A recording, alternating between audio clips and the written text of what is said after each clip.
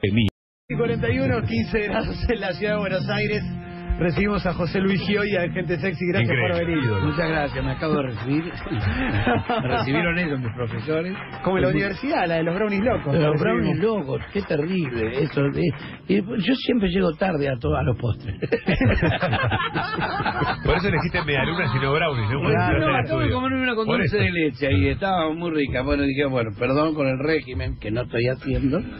Este, pero bien, pero yo dije, bueno, feliz, aquí estoy. Eh, sí, Viste que al pibe, perdón, eh, para cerrar ese tema, al pibe le dieron 10 años de suspensión al que armó los brownies locos. Ah, está muy bien. Sí. Die- Está muy bien, ¿te parece? 10 años. Pero de para suspensión. es, es la facultad de medicina. Si fuera de arquitectura o de abogacía, pero la de medicina, ese tipo va a estar medicando gente. Claro, sí, igual se recibe. Sí, Claro. sí, no, Sí, sí, sí, es muy- ¿cuánto Pero, las chicas estas que se intoxicaron, ya Sí. no van más allá de la cannabis. Van más allá, ¿intoxicadas de qué?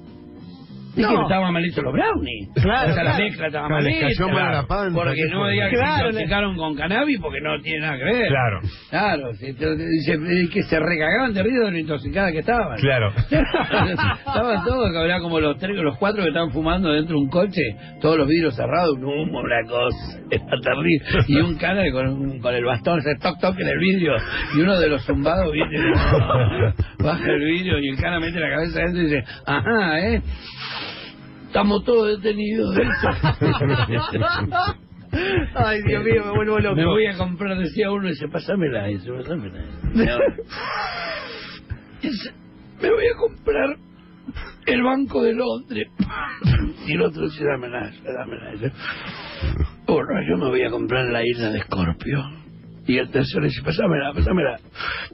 Uy, Dios, dice, no, no vendo nada. Era todo de-. Bueno, hagan el programa. A trabajar, vamos. Es que es esto, ¿eh? Es que... El programa es tener un invitado, invitarle un café y que hable solo. Sí, Nosotros sí. tiramos tópicos. Llegó mi cortado, qué lindo. Qué lindo, llegó el cortado, ¿eh? Bien, está. Dani acá tenés un maestro, ¿eh? Sí, sí, sí. Dani, Pues Dani es un gran contador de chistes. Buena. Bueno, y podríamos hacer una mesa de humor. Dani, ¿te animás a contarle un chiste a Gioia? Dale, Dani, dale, Dani. Es como... Chiste verde, gran chiste verde. Es tirar una pared con el Diego, pero Pero- bueno. Vení, No, Dani, Dani. Por Dios, ¿de dónde te crees que saco las cosas yo? Dani, Dani. De que se acerque y me cuente un chiste. Uy, mirá qué bueno, lo paso por la procesadora mía. Claro. Y lo hago a mi estilo y ya está. De ahí saco. Yo soy un, colec un coleccionista de la vida. O sea, todo el mundo me dice, bueno, mi formación y todo. Yo me formé a lo largo de los años.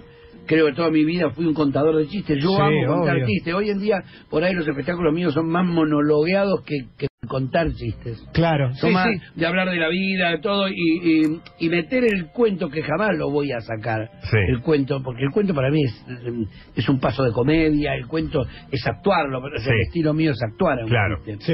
Entonces, eh, yo lo que fui un gran coleccionista, un chistólogo, yo nunca en mi vida, yo estoy cumpliendo 41 años el 26 de junio. 41 años de, Con el humor. de- con el Claro, humor. claro. De, subí al escenario el, el 26 de junio del 74 y no bajé nunca más. Subí, me dijeron mañana debutás, el 23 me dijeron mañana debutás como humorista acá en Buteco, que es un boliche que era estaba en Colonia Entre Ríos, Mar del Plata. Buteco en la jerga brasilera es boliche. Sí. Sí. Y subí al escenario porque se fue uno de los socios que me tenía como cero, como envidia, no sé qué era. Y el socio cuando se fue, se fue a vivir a Estados Unidos, y me dice, mañana debutás, pusieron una foto mía, todavía no era José Luis Joya, el gallego José Luis. Claro. El gallego José Luis, de gallego Sí. no tengo nada. Joya, soy italiano, mi verdadero apellido que es vasco-francés. Soy francés-itano, así que no tengo nada. Pero en, en Mar del Plata me llaman el gallego. Gallego, gallego, todo el mundo me saluda gallego.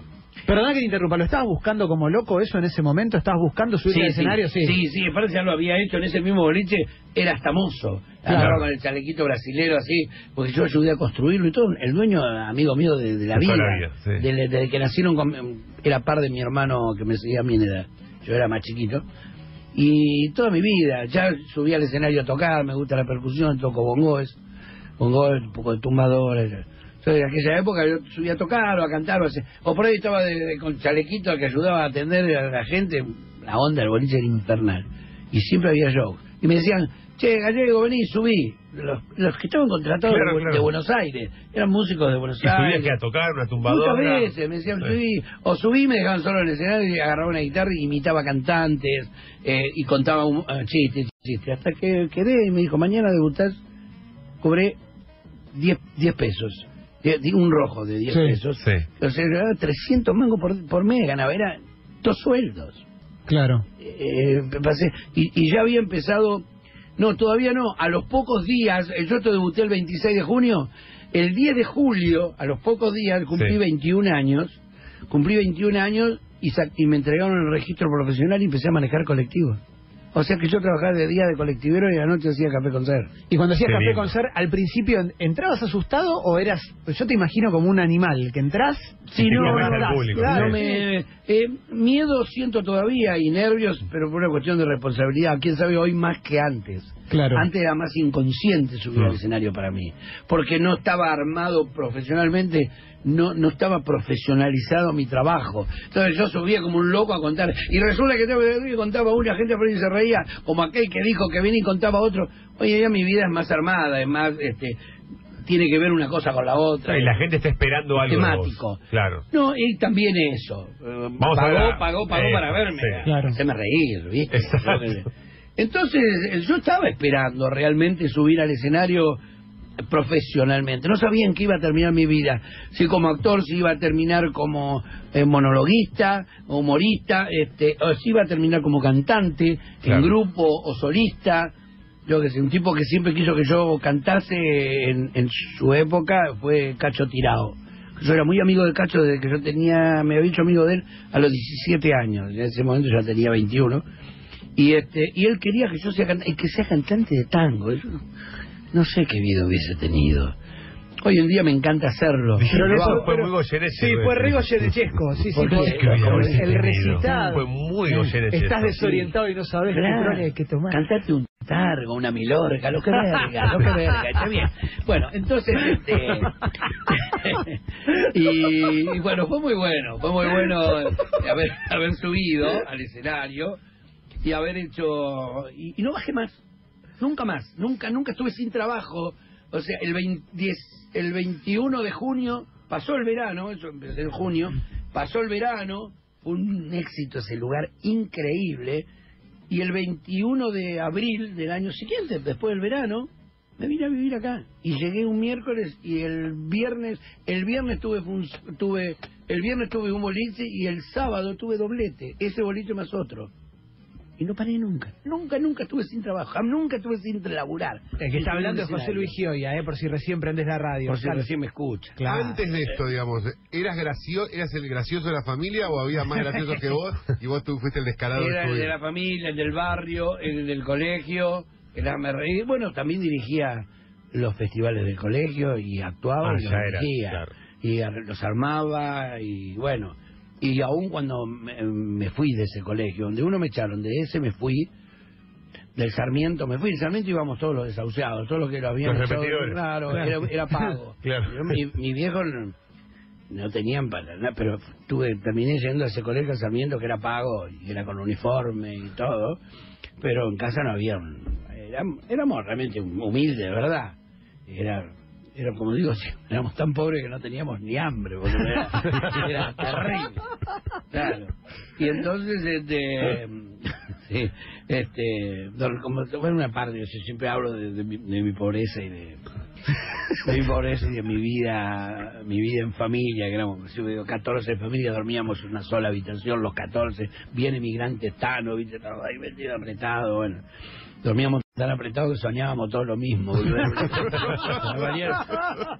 te contabas un, un sueño que tuviste, ya sé, no lo conté. Todo, era una cosa terrible. Lo bueno que no había que hacer cargo de los dos, pero nada, porque eran mucho culo ahí todos los 12, los 14. Bueno, pero no importa, yo me estoy diciendo una Pero José Luis, si estuviéramos comiendo en, una, en un almuerzo nosotros, ahora nosotros Sí, cuatro, Sí, ¿serías así también? Digo, ¿seguís teniendo eso que seguramente tenías? de- eterno. No parás. No, como dice mucho, pero no para nunca, no. Hoy en día estoy más tranquilo y, y también hay menos cosas nuevas. Sí. Porque a los que nos gustan el cuento en sí, no hay nuevo. ¿no? Claro. Antes era todos los días, tenías 10 que venían y te contaban lindes, y vos ibas sumando y los ibas eh, dibujando, los ibas imaginando. Hoy en día no hay tanto material. Es verdad eso, ¿eh? Hace mucho que no, aparece un chiste nuevo. No, no hay zarpado. chiste nuevo. Claro. No, no sale. No, Es lo que y tenía. tampoco me preocupa, porque hace Claro. 40 años que digo lo mismo y la gente va a verlo, pero, pero no ha cambiado nada. Pasa que yo tengo la habilidad de darlo vuelta por un lado para otro y la gente cree que todo nuevo. Una vez hice un espectáculo unipersonal en Mar del Plata Sí. y no me pusieron en la terna de las estrellas de mar, no me pusieron ni para completar la terna. Tuvo Varela. En la de unipersonal de humor, Varela y perdón, y, Y Carlos, y Carlos Perciavale. Claro. Varela y Carlos No Perciavale. un Una terna de dos. Era una terna de dos, no me pusieron ni siquiera como marplatense, que soy por lo menos para de mar. Para invitar Al a la otro año fui, cambié el título, hice exactamente el mismo espectáculo y gané la estrella de mar. Mirá lo que creeré yo en la estrella de mar. Sí. Comprada por Nito. No, cierto, no, no. Es una denuncia gravísima ahora con lo de la FIFA y esto. Pero, no, terrible, sí. Bueno, por fin, algún día se tenían que dar cuenta que no se estaba fifando. Bien. Este, vos No. tenés- Sí. Sí, no, pregúntale, Tenés algo que con, el cuento que me, me remite a, a- a los grandes contadores de cuentos, que no me importa el remate, no me importa el final. Me pasó con el chiste que hiciste recién. Iba a preguntar lo mismo, lo que te juro por Dios. Excelente la historia, como no, me- no hay remate, no importa, seguí hablando. Claro, como bueno, ¿cómo la te lo?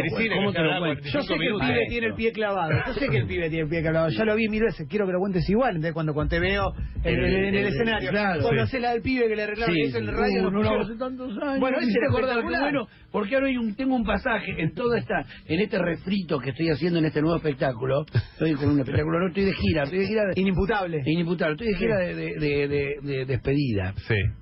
Pero Sí. chalcharero igual, No, no, la- era de dos años, la hicieron también, los dos años y medio. Sí, no, no pararon de girar. Terminaron mareados y llenos de plata. Bien. Resulta que eh, el tema es que yo eh, nos fuimos de Ay, estar comiendo, por ejemplo, que yo toda mi vida fui así de estar comiendo y hoy en día con mis amigos lo mismo. Ellos me cuentan cosas a mí también, ¿eh? Claro. que me hace reír. Alguien que me hace reír muchísimo. En, los viernes cenamos, al- almorzamos es este, este gran locutor y gran dador de voces que es eh, Pelusa Suero. Sí. Pelusa Suero Sí, claro. es una máquina, es maravilloso contando chistes. Es impresionante porque aparte loco. Juega, con las voces y Claro. loco. Te hace un tano viejito que te, te, te enferma. Pelusa Suero, Neurus, eh, Todos, todos, 16 personajes de Ferrer. Sí. 16 voces de Ferrer. Maravilloso. Claro, y este, bueno, Pelusa me hace reír muchísimo. Y siempre nos tiramos alguno nuevo, cortito, chiquito, siempre. Pero es así, las mesas nuestras son así. Y las mesas de mi familia fueron así. Y las mesas de mis amigos, y mis tardes de ir a Sao, en Mar del Plata, que existía Sao, eh, que era el grill, Sao, que un mostrador largo y al fondo había sillones y todo. Nos juntábamos con Carlos Romano, un humorista marplatense como yo, que debut, subimos al escenario junto el día que yo subí por primera vez. Él estaba como público, le dije, Carlito, ven y subí. Y subió conmigo. Y él, de, a partir ahí, tampoco nunca más bajó del escenario, pero él se quedó siempre en Mar del Plata, Carlos Román, Carlito Román. Y este y Carlito Román, pues subimos juntos, y con Carlito Román nos íbamos a Xau a tomar café y la media luna a la tarde, y, a- y nos sentábamos al fondo los dos, una al lado otra en un sillón, y a la- los 10 minutos, y había 20 personas, 30 personas alrededor nuestro. Todos jóvenes, Y claro, porque obvio. loqueábamos uno y otro y, y hacíamos chistes de cualquier cosa. Dice, mirá el, el sobrecito de azúcar, uy, qué buena, es buena para verano. Estupideces, ¿viste? Porque uno hace así con el azúcar, bueno. Y entonces, eh, todo, eh, buscábamos el chiste con todo. En todo. Y aparte de aquella época, todo era nuevo. Claro. el humor, Claro. todo era nuevo. Iban saliendo cosas y se iba abriendo, el humor se iba abriendo y abriendo de una forma y se hacía más había cosas que no- eran se empezaron a ser más contables, que vos la podías contar en cualquier ámbito y en cualquier lado, se fue permitiendo más cosas. Entonces el, el- el humor tenía un espectro mucho más grande. Pero para vos arrancaste en los 70 y atravesás una época que es re difícil para el país. ¿La de los milicos? Sí. Hay un montón de chistes de milicos. ¿Por qué? Eso seguro. No, yo lo contaba, sí. Los contabas Sí, y, sí. y- o sea, era como un terreno donde Nunca podías tuve un problema yo. Pensé que había muchas cosas que estaban prohibidas, viste que Mm. por ahí no podía decir mogólico, eh, viste, "Te, mogólico, no podías decir tonto, no Mm. podías hacer un borracho, un borracho no, estaba prohibido, no podías hacer un rengo, Bueno, hoy creo que haces un rengo y te saltan, ¿eh? También, ¿eh? los rengos no saltan. No. ¿Cómo te llevas con Te esto? lo voy a explicar porque eso lo digo en el escenario. Hay un momento, hay un momento sobre el final del espectáculo que yo hablo, le digo a la gente, no pinten el humor, disfrútenlo. Claro. No lo ¿Por qué yo no lo pinto? Bueno, falta alguna vieja en chapelota, que seguro debe haber alguna que está acá. sí. Esa que dicen, Esa que dice, ay, por, ay, qué humor tan verde. Ya te lo pintó de verde. ¿Qué es el humor verde? Tiene una explicación el humor verde. Hay una explicación. ¿Pero qué es humor? Nada. O ay, me encanta porque hace humor blanco. Ay, qué divino porque hace humor rosa, es tan suave. tengo que creer. Uno nunca que dice, por Dios, qué humor negro. Y humor negro, le digo al público yo. Humor negro, todos los que estamos acá tenemos humor negro. No hay nadie que no tenga humor negro. Si va alguien caminando delante nuestro y tropieza y se hace mierda la cara contra la vereda, Te reís. y ahí se ríen todos. Y eso que se- y eso que lo están imaginando, no lo están viendo, ¿ves? Claro, obvio. Pero eso no es humor negro, eso hay cosas que te causan gracia y son inevitables. Y si tenés un problema y lo vas a llevar toda la vida con vos, llévalo con humor, porque es mucho más llevadero. Si no, no existirían los chistes de rengo, los chistes de, de, de Altamudo, los chistes de, De ciego, gangoso, de claro. ciego, de gangoso. Existe, son parte de la vida. Pero ¿qué pasa? Yo ahora, por ejemplo, cuento un chiste de Rengo y no falta nunca un Rengo que salte, y ahí es donde digo, "Buah, que va a saltar Rengo. que, salte, que se enoje, que se enoje y diga, y diga, ¿cómo se nota que usted no tiene problema? Que...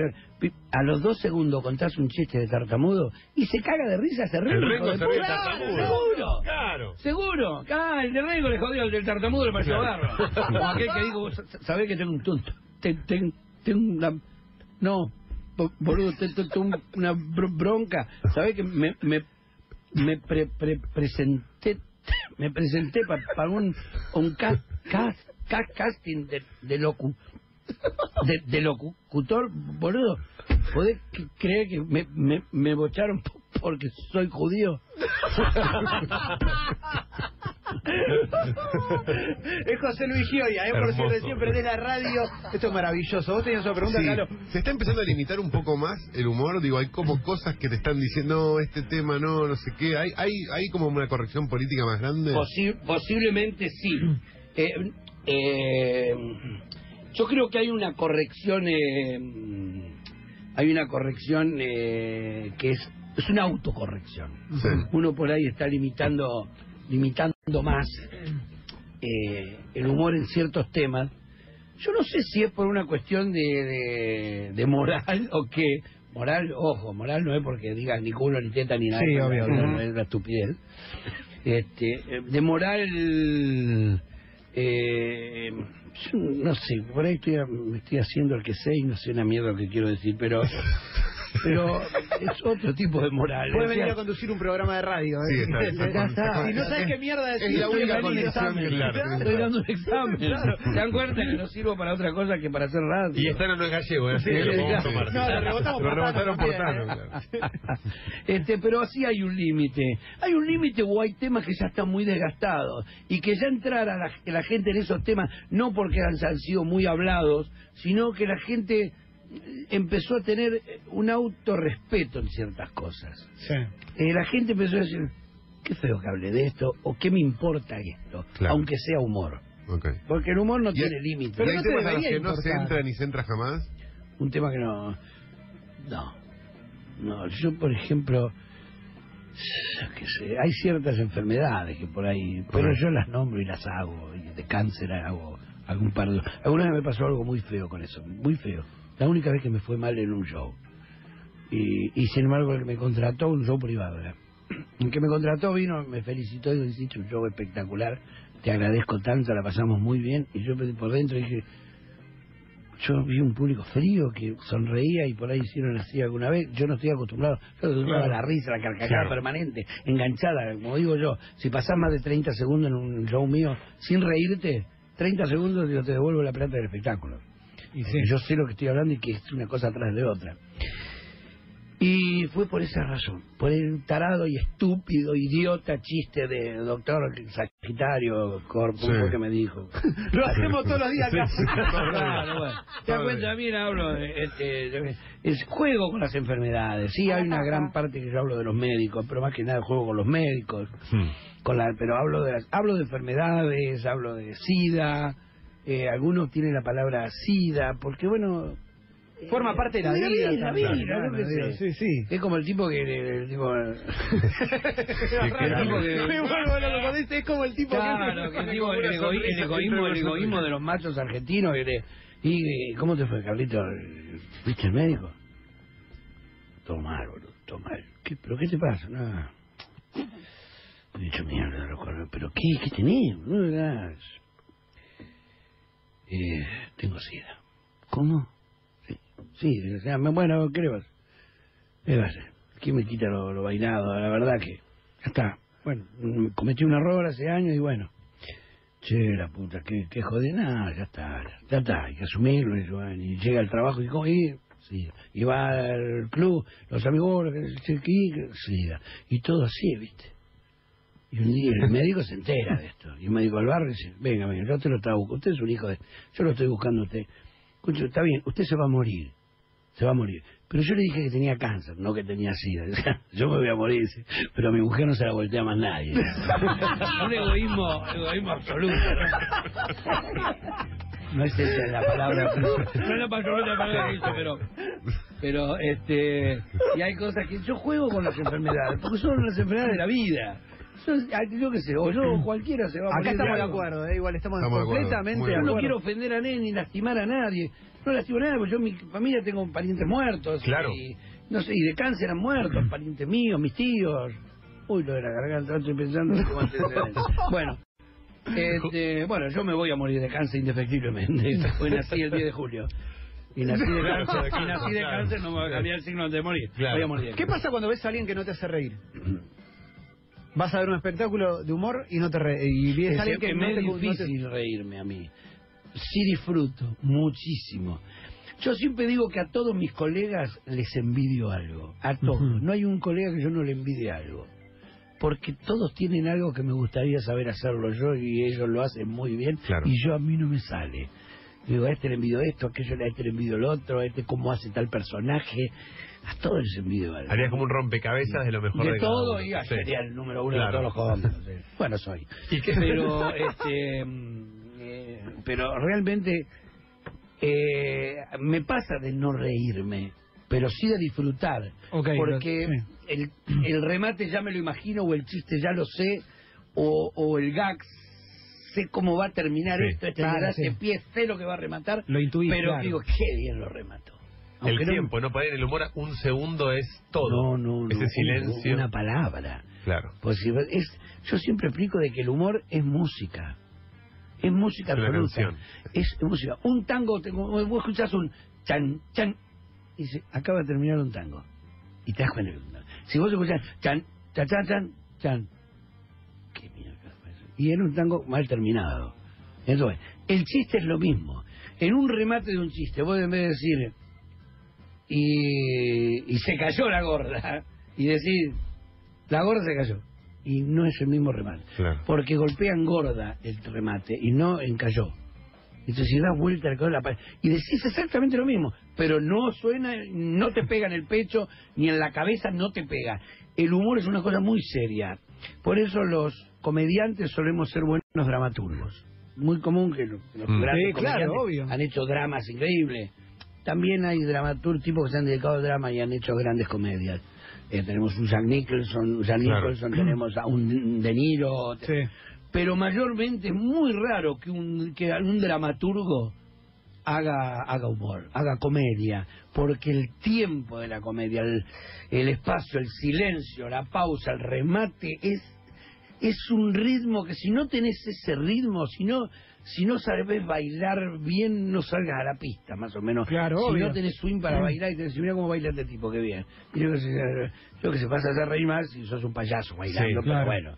Pero es la verdad es esa. El tiempo, el tiempo en el humor es, es, es increíble. Yo a veces me escucho a mí mismo o veo la reacción de la gente en el escenario porque no todos los días exactamente digo o hago Lo mismo mismo que momento. a mí Claro. los espectáculos se me transforman en callo.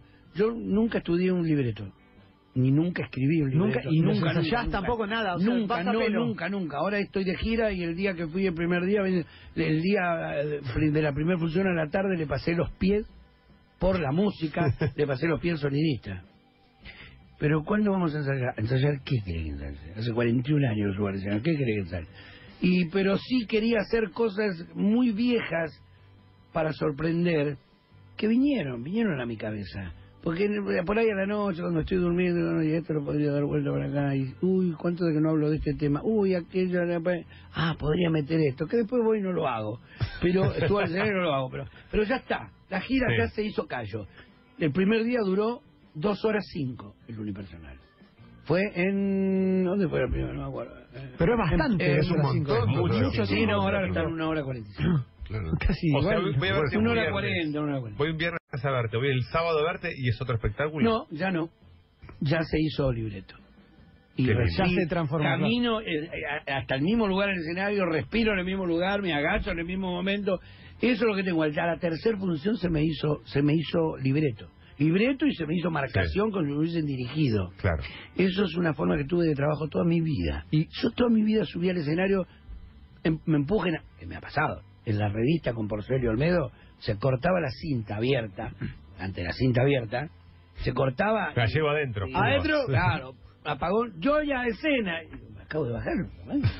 Y por ahí estar en bata, Y salís en bata. esto es un defecto que tengo. Lo, te lo explico. Me jode mucho con eso. Que como yo gesticulo mucho hablando, no- hay palabras que no las puedo decir si no hago el gesto. Ah, claro, bata. Y haces el gesto de, bata, atarte la bata. que estoy en radio no me ve nadie. No pasa Estoy en nada. bata, pero es una cosa que no lo puedo evitar. Entonces, este, estoy eh, estoy así y en ojotas o, o sandalias en el camarín y llamame, Joya, a escena. Y digo, no me dieron ni un prevenido y me llaman y subí, ¿qué pasa? Anda que se cortó la luz. Se cor- tuvimos que mandar a Pagón porque se cortó, se cortó la cinta. Y salí al escenario y miré a la gente así, que un minuto o dos mirándolo, y yo en, con bata. Y bueno, pero para la la gente, gente ya se ríe, claro. Y empezar a explicar por qué estoy vestido así. Ahora- y hacer un monólogo que no está previsto. Claro. Porque yo tengo tenía mi primer monólogo de 18 minutos y antes de terminar en la función tenía mi segundo monólogo de 18 minutos. Dos, minu dos monólogos de 18 minutos, que siempre se pa- me pasaba y tenía quilombo y me retaban y se armaba quilombo. Siempre me pasó eso en la revista. Porque nunca me pude limitar a los tiempos. Siempre me voy. No me doy cuenta y me entusiasmo y agrego. Y salir a hacer un monólogo que, no, que nunca estuvo previsto. Sí.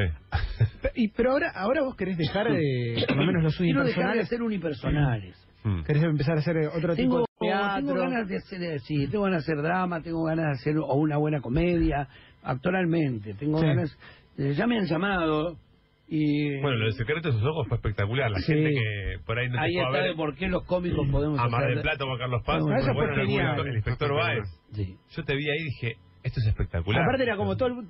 Ah, boludo, está Gioia. Sí. sí, sí, sí. Y bueno, y eso Y te gusta, se nota que lo disfrutas me gusta mucho. hacer, me gustaría que me, que me lloviese, aunque sea un papel chiquitito, más de cine, eh, yo qué sé. Por eso me hizo muy feliz esta publicidad que está en el aire hoy en Sí, día. es muy ya la hice antes, empezó con otra y siguió ahora. la- Tiene más que ver con el placer que con la guita que puedas ganar también, ¿no? Porque estás diciendo un papel chiquito en el cine. Digo, Sí, eso no te va a dar mucha guita. No, no, por- por ya el hoy no me va a cambiar la economía Claro. una, una película. No, no, no, no. Pero, o sea, voy a seguir siendo pobre igual. Hasta me la puedo cambiar entonces.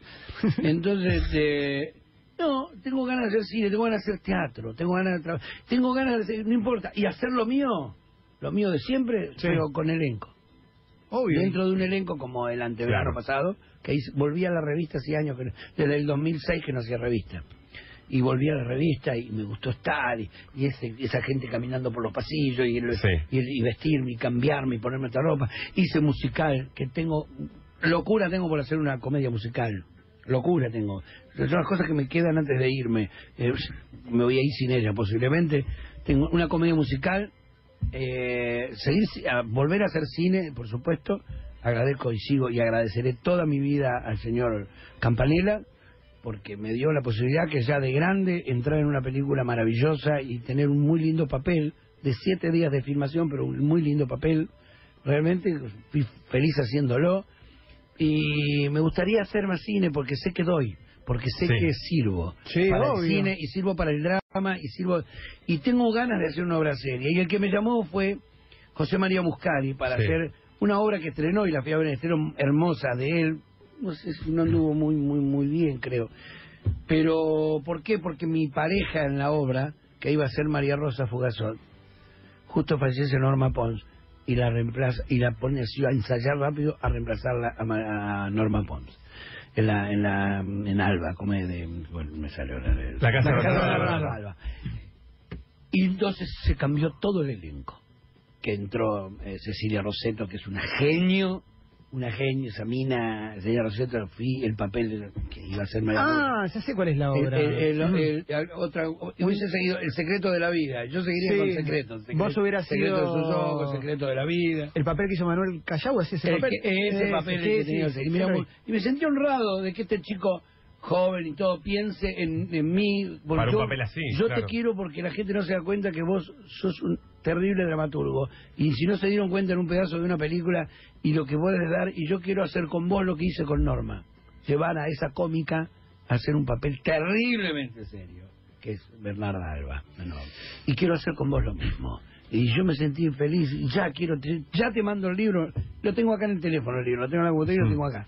Te mando el libro, eh, y yo lo leí, me pareció genial, después se postergó todo, después pasó esto de María Rosa, y Faroni armó otro, otro equipo, bueno, y no. También me llamó ahora Roberto Antier para hacer esto maravilloso que están haciendo, que es de Franchella, de Franchella, de Beto Casella, Sí. Los Sí. Cinco Genios, está maravilloso, yo fui al estreno también, y me llamó dos veces, me llamó, seguí con la idea de la gira, sí, ya está el compromiso, tengo que hacer gira. Claro. Me encantaría estar haciendo esa, esa, esa comedia. Eh, Es una. Sí, comedia, porque realmente te país muchísimo, por los diálogos son muy buenos, el libro es muy bueno, y la actuación de todos es muy buena. Pablo, eh, Pablo Nova, por ejemplo, es John Pablo Lennon. Nova, que es John ¿no? No, no, es John. Palomino Esperón, Pe- Totalmente. Nico Paul Einstein. Sí, Nicole Einstein, Einstein creo que iba a ser yo. ¿Vos ibas a ser Einstein? Sí, yo iba a ser Einstein. No se parece en nada conmigo.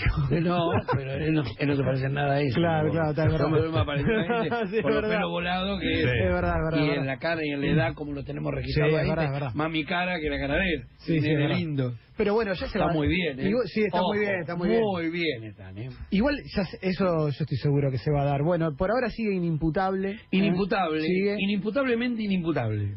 Sí, la puta que vale la pena reírse. No, vamos una frase que puse debajo del Muy título, bueno.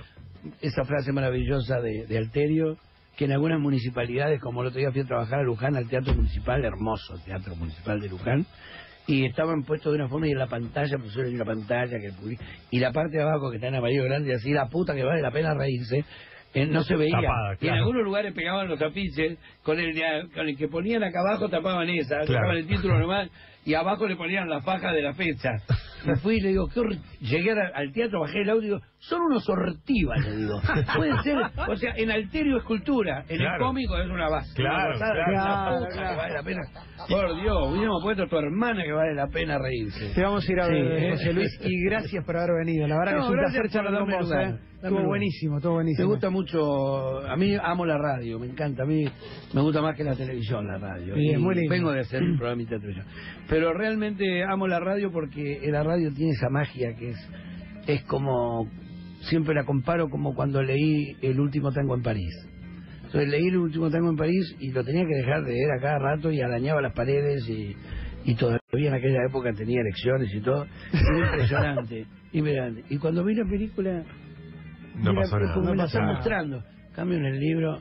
Y la radio es eso, la radio es un libro. Es imaginación. Es imaginación y tenés que pensar. Y, y si yo te digo algo y hago un gesto, si yo te lo, te lo hablo bien, ese gesto vos en radio lo ves. Sí. Aunque, Totalmente. aunque uno haga el gesto sabiendo que no te están viendo, pero el, el oyente ve el gesto. El de la bata. El de la bata, por ejemplo. ¿Cómo se atan la bata? La bata. Y bata. Pata, gracias por venir. Gracias a ustedes por